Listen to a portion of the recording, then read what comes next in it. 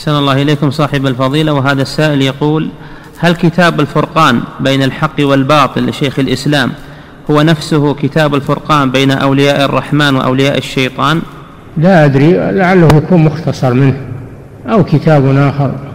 الله أعلم يحتاج إلى إلى مراجعة تثبت. نعم والشيخ كما تعلمون يكتب كثيرا. يكتب رسائل وفتاوى ومؤلفات كثيرة متواصلة. ربما يكون هذا اختصار لهذا أو جواب عن سؤال كتبه. نعم. الفرقان بين الحق والباطل في مسألة كلام الله. سلامك الله نعم إذا هو في الصفات. مسألة كلام الله إذا يقصد في هذه المسألة في مسألة الصفات. نعم.